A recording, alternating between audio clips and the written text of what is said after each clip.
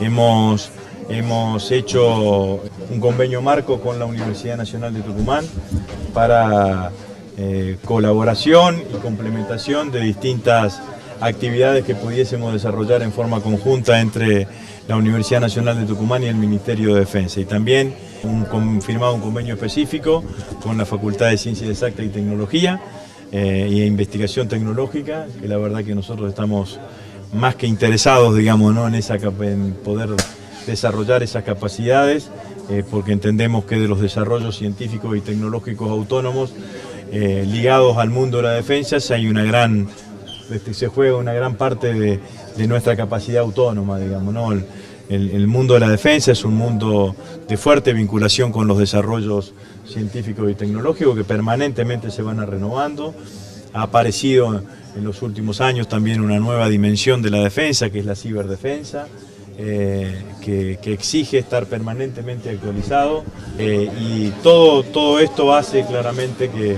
este convenio ha sido claramente provechoso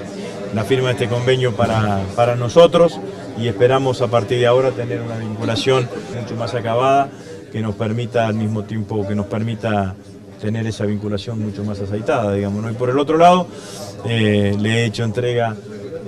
a la señora rectora de un ejemplar de lo que son las actas secretas de la dictadura militar, que es una documentación que nosotros hallamos el año pasado en el subsuelo del edificio Cóndor a partir de una información que nos dio el jefe de la Fuerza Aérea Argentina, es un documento inédito que nosotros hemos repartido en distintos lugares, fundamentalmente pensando en gobernaciones, en, gobernaciones, intendencias, pero también en las universidades, del hecho de haber encontrado esta documentación que fue producida, como usted bien dice, hace 36, 37 años, obviamente que nos retroalimenta la, expectativa de encontrar eh, documentación que todavía no encontramos. De hecho, yo en, noviembre del año pasado firmé una resolución donde instruí a los jefes de la fuerza que intensifiquen la búsqueda, en donde pudiese o pudiese existir o haber ese nivel de, ese nivel de documentación. Eh, y de hecho hemos encontrado más documentación, quizás no tan relevante como la que presentamos hoy, pero sí hemos recibido por parte de, de las fuerzas eh, más documentación eh, sobre el periodo 76-83. ¿Cómo con la Universidad Nacional de Tucumán y bueno, qué mensaje le damos a esta nueva conducción encabezada por la rectora Alicia Pardo?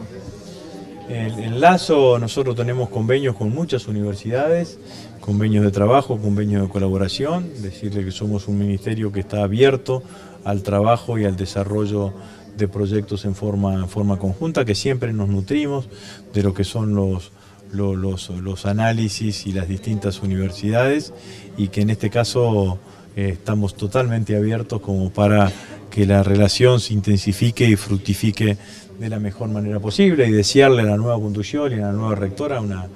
una muy feliz gestión, digamos, entiendo que hace pocos días ha asumido la gestión de una universidad que está cumpliendo 100 años. Eh, la rectora, según me informaban, es la primera mujer que asume el cargo el cargo de rectora y para nosotros la verdad que, ciertamente desearle la, mejor gestión y que seguramente encontrará el acompañamiento de la comunidad universitaria y nosotros en la medida de, nuestras posibilidades de que tengamos de desarrollar de desarrollar este, este convenio de la forma más fructífera y más intensa posible, somos materia dispuesta.